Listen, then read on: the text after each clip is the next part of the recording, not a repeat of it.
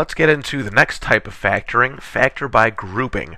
We're going to be using ideas that we used when we were factoring using the GCF. Here's our first example, x times this quantity y minus 2 plus 3 times the quantity y minus 2. When we look at this, I want you to see that we have two terms. Remember that terms are separated by adds and subtracts.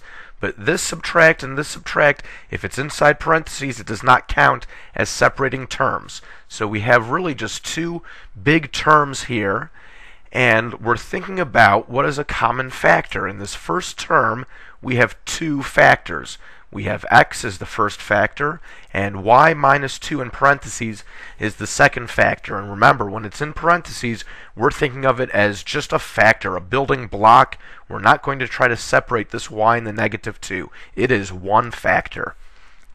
Okay, this term back here also has two factors, has a positive 3, and it has this quantity y minus 2. So we can see there is a common factor. It's this quantity in parentheses, y minus 2. That's our greatest common factor, the GCF. GCF, of course, goes out in front of parentheses.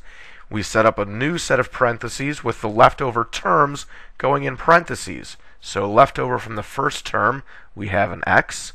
Leftover from the second term is a positive 3. And there's our answer. It's in factored form. And this is how we want to handle problems like this, where we see two big terms, and we can see that in each term there's a matching quantity in parentheses, and we're going to identify that in parentheses as the GCF and put it out front and in the second set of parentheses, drop in what's left over. Left over from the first term was the x, left over from the second term was that positive 3, and that's all there is to that kind of a problem. So here's a quick one for you to try. I know you're ready for it. So it's going to be just like the problem we had right before it. If you want to pause and, and go back to the beginning of that example just to take another look at it, please by all means do that and then come here and, and pause the video, work this problem out, and then come back and we'll look at the answer. Okay, so both terms here have the quantity 3y minus 7. That's our first factor in, in the solution. And then we have 2x minus 9, and those terms go into the second factor. So this is how this expression is written in factored form. Here's our next example. It's a problem that looks similar to the, the previous problem. We have two big terms. We start off with 2x times the quantity y minus 3. The second term is a positive 5 times the quantity 3 minus y. When we need to factor an expression that looks like this, we are looking at these two terms and we're focusing on the quantities in the parentheses because if they are the same, then that's going to be our GCF that we'll bring out front. So looking at on the left side, we have y minus 3, but on the right side, it's 3 minus y. They don't look identical. They they both have some kind of a y and a 3 going on there, but we need to decide are they really the same or perhaps they are opposites. If they're opposites, there's still a way for us to do factoring. So it's important for us to, when we're looking at those expressions in parentheses, hopefully they are identical. If they're not identical, maybe they are opposites. And there's an extra step if they are opposites. So to really decide if they're opposites, each term that we have in parentheses here, we need to see the opposite term in parentheses back here. So over here we have a positive y in parentheses in the first term.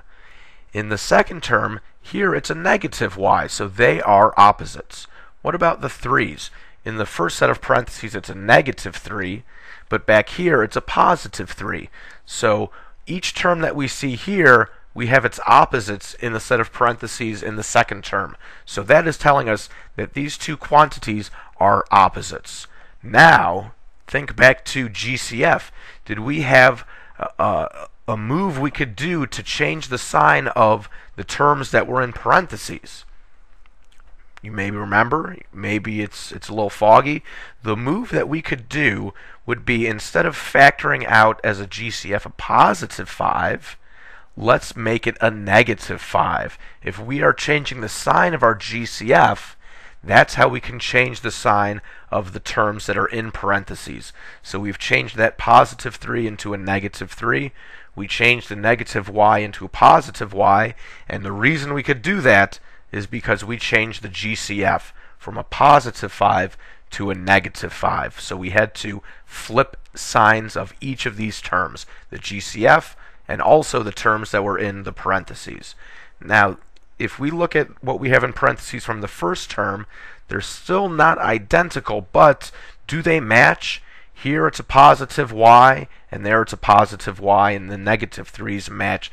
So they are equivalent, and all we want to do is just rearrange terms. And we don't have to flip signs when we rearrange terms. We just look at this negative 3 and say, as long as that stays negative 3, we're okay. And that's a positive y, so it should stay a positive y. We're okay. So now look at this line, a negative 5 times quantity y minus 3. And this line, 2x times quantity y minus 3. Now we're seeing those quantities in parentheses, they match up exactly. They are the GCF. Let's put it out front. Open up a new set of parentheses, and what goes in there? The leftovers. Leftover from the first term, 2x. Leftover from the second term, negative 5. So we have 2x minus 5 in the second set of parentheses, and that's our answer. We have this in factored form. Here's a problem for you to try. So if you don't already have some paper in front of you with a pen or a pencil, go and, and get that. You should be working along. That's going to be more helpful to you than just checking it out and hearing me. So here's a problem for you to do. Put the video on pause, take a few minutes and work it out. Come back and we'll look at the answer.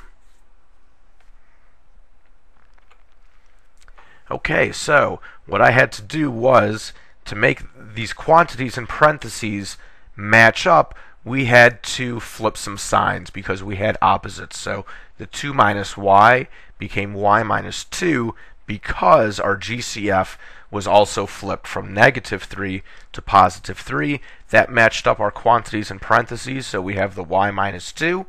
The second set of parentheses contains what was left over, the x from the first term, the positive 3 from the second term.